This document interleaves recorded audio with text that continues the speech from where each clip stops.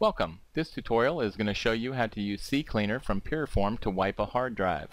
The very first thing you need to do is go to piriform.com, then look for the CCleaner, click the download button, and you're going to have three choices, free, professional, and business. Now everything that we're ever going to need to do we can do with the free version, so click on piriform.com. Your download is going to start automatically. There it goes. And because the file is less than 4 megabytes in size, it doesn't take very long to download. Then we're going to double click on it to install it. Click on yes when the UAC pops up on your screen. You're going to be given your language selection. Choose your language. Click OK. Then next. Agree to the license agreement. Leave all of these buttons checked and click install. We're going to uncheck the view release notes but leave the run button checked. Click finish and the program's going to open.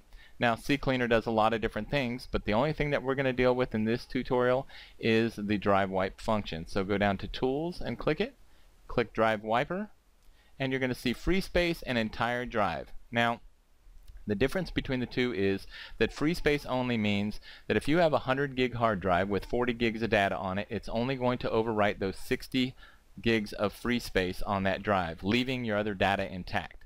So if you're getting rid of your hard drive, selling your computer, or just want to make sure that all your data is securely erased, this is not the option that you want. You want to choose entire drive, all data will be erased. Now make sure that whatever you want off that drive is off of it because once we finish our process, there's no way you're going to get your information back off of there.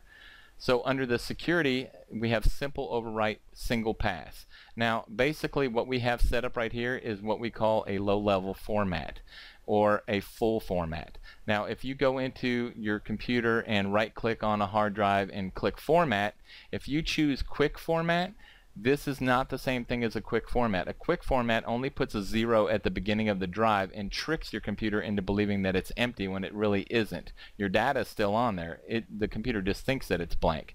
But a full format or a low-level format is a single pass over every single block on your computer where it puts a zero on every block to make sure that the data has been overwritten. Now, I have seen there are some programs that can still pull data off of a hard drive after a single pass.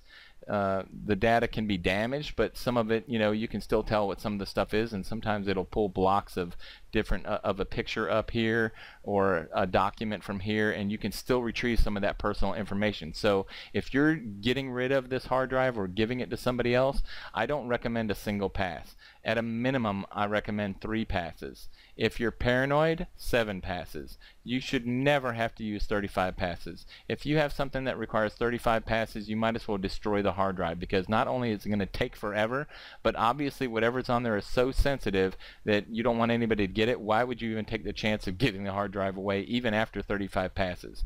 So typically most people just use a three pass and you can't get any of the information off of that.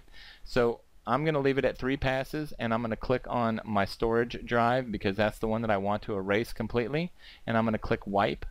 Now it's going to make sure that I verify that I really want to erase the stuff on the drive. So you have to type erase, then click OK, and it's going to start erasing that drive. Now this drive is only 160 gigs in size, but you can see right here it's going to take roughly almost two hours for it to, to wipe it.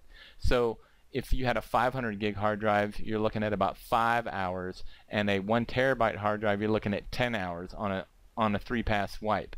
So you're going to have to adjust your times accordingly. You may want to start this program at night and have it run during the evening when you go to bed. That way it's finished when you get up and it's not running when you may need your computer during the day.